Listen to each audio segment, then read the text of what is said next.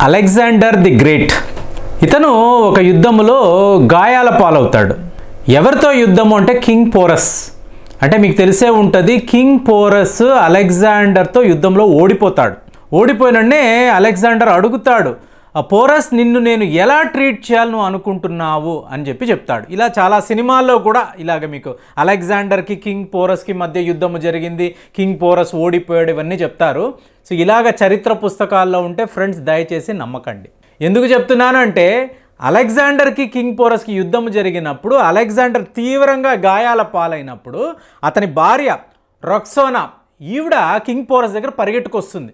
వచ్చి అయ్యా మీ దగ్గర ఏదో ఈ సంజీవిని అని చెప్పి ఒక మందు ఉందంట కదా రామాయణ కాలం నుంచి మీరు అందరూ కూడా ఇది వాడుతున్నారు కదా. అంటే రామాయణ కాలం అంటే ఏంటి? లక్ష్మణుడికి మీకు గాయమైనప్పుడు మీకు రాముడు అప్సెట్ అయిపోతాడు. అతను ఒక దగ్గరికి వెళ్ళిపోయి ఇంకా ధ్యానంలోకి వెళ్ళిపోతాడు. అప్పుడు హనుమంతుడు భయపడతాడు. ఇలాగైతే ఎలా యుద్ధంలో గెలవడం అని చెప్పి ఈ సంజీవిని తేడానికి మీకు హనుమంతుడు బయలుదేరతాడు.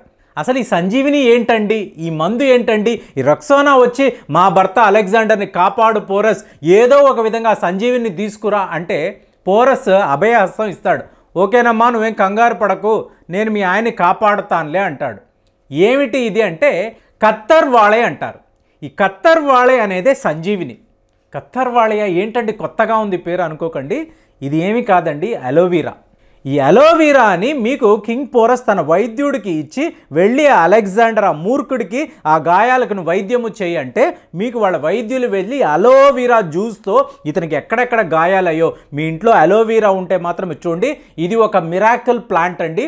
ఇది ఎంత పవర్ఫుల్ అంటే మీకు క్యాన్సర్తో సహా క్యాన్సర్ అనండి మీరు అల్సర్స్ అనండి మీకు ఎయిడ్స్ అనండి ఏ ఎలాంటి వ్యాధి వచ్చినా ఎలాంటి గాయాలైనా అలోవీరా రాసుకుంటే మీకు ఇమీడియట్గా రిలీఫ్ కాదండి మీరు అందులోంచి కోలుకోవచ్చు. ఈ విధంగా కింగ్ పోరస్ అలెగ్జాండర్ అనబడే తన శత్రువుని ఇలాగే అలోవెరా ఇచ్చి కాపాడాడు. మనం ఏం చదువుతాం? అలెగ్జాండర్ కింగ్ పోరస్ మీద గెలిచాడు అని చెప్పి. అసలు ఇదంతా ఏంటంటే ఒట్టి బూటకం ఒట్టి ఫేక్ హిస్టరీ.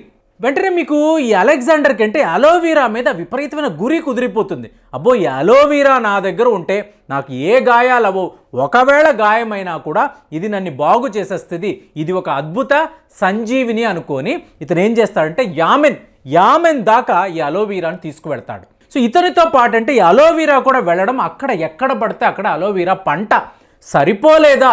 భారతదేశం నుంచి తెప్పించుకోవడం. అంటే సోకట్రా అంటారు. ఈ సోకట్రా అనేది యామన్ యామన్ అనబడే ప్రాంతం దగ్గర ఈ సోకట్రా అనే ప్రాంతంలో మీరు ఇవాళ చూసినా కూడా మీకు అలోవీరా పంట అనేది విపరీతంగా ఉంటుంది. యామన్ అంటే యామన్ అంటే ఏంటండి? యా అంటే దక్షిణము మ్యాన్ అంటే మన్ అంటే యామన్ దక్షిణములో ఉండే మనిషి మ్యాన్ అంటే మనిషే కదా యామన్ ఎవరుంటే శివుడు. మీకు ఓమన్ ఓమన్ అన్నా శివుడే. అంటే ఇవన్నీ కూడా శివుడు పేరు మీద ఉండే దేశాలు. సో ఇక్కడ ఈ సోకట్రాలో మీకు విపరీతంగా వీళ్ళు అలోవీరా పంట అనేది వేయడం మొదలుపెట్టారు. ఆ ప్రాంతాల్లో అంతా కూడా ఎక్కడికెక్కడ అలోవీరా వ్యాపారం. చాలామంది అడుగుతూ ఉంటారు భారతీయులు ఓడల్లో వెళ్ళి వ్యాపారాలు చేశారని అంటారు కదండి ఎక్కడెక్కడ దాకా వెళ్ళారు? అంటే చెప్పాను కదండి మెడిటరేనియన్ సీ అంటే మెదు తరయన్ మెదు అంటే మెత్తని తరయన్ అంటే ల్యాండ్ భూమి మెదు తరయన్ ఆ సముద్రము పేరే ఇక్కడ మనవాళ్ళు పెట్టిన పేర్లే. అంటే వీళ్ళు సముద్ర మార్గంలో కేరళ దగ్గర అరేబియన్ సీ దగ్గర వీళ్ళు బయలుదేరితే పెద్ద పెద్ద ఓడలు వేసుకొని వీళ్ళు వ్యాపారం చేయడానికి వెళితే వీళ్ళు యూరోప్లో మీకు ఇటలీ గ్రీస్ ఇలాంటి దేశాలు దాటుకుంటూ వెళ్ళిపోయేవాళ్ళు. అక్కడ మీకు ఎక్కడ పడితే అక్కడ భారతీయులే వ్యాపారాలు చేసేవాళ్ళు. కాబట్టి మీకు ఎటు వెళ్ళినా కూడా భారత సంతతియే కనిపిస్తుంది. ఆ లెవెల్లో వీళ్ళ వ్యాపారాలు. మెయిన్ ఏంటంటే అలోవీరా అన్నాను కదా మీకు తరువాత చూశారనుకోండి ఈ మసాలా దినుసులు స్పైసెస్ మీరు మిరియాలు అనండి ఏలక్కాలు అనండి అలాగే ఉప్పు వీటిని కూడా వీళ్ళు విపరీతంగా తీసుకువెళ్ళి అమ్మేవాడు ఎలా ఉంటుందంటే జెరూసలేం అనండి పోర్ట్ ఆఫ్ సలాలా అంటారు. గ్వాదార్ పోర్ట్ ఇవాళ పాకిస్తాన్లో ఉండే గ్వాదార్ పోర్ట్ బలూచిస్తాన్లో ఉంది చూసారా?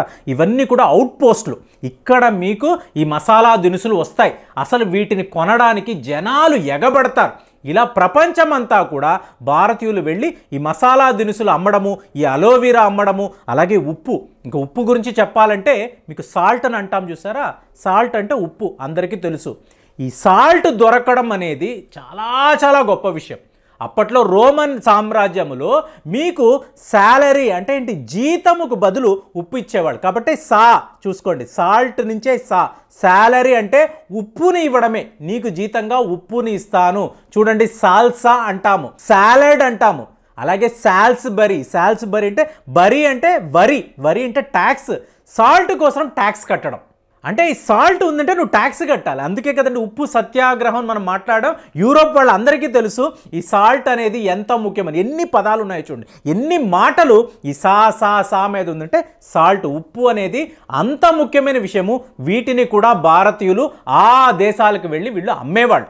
అందుకే చూడండి ఐదు వేల సంవత్సరాల దగ్గర ఈ టెక్టానిక్ ప్లేట్స్ అనేవి షిఫ్ట్ అయ్యాయి. షిఫ్ట్ అయినప్పుడు పెద్ద పెద్ద మీకు వాల్కానిక్ యాక్టివిటీస్ అనండి భూకంపాలు అన్నప్పుడు ఎక్కడెక్కడికి వెళ్ళారు? వ్యాపారులు వెళ్ళారు కదా. ఇప్పుడు చూడండి పెడ్రా అంటాం జోర్డాన్ దగ్గర ఉండే పెడ్రా. ఇక్కడ ఒక పెద్ద శివాలయం. ఇవాళ ఎవరు కూడా దీన్ని శివాలయం ఒప్పుకోరు కానీ అక్కడ శివాలయమే వీళ్ళు కట్టారు.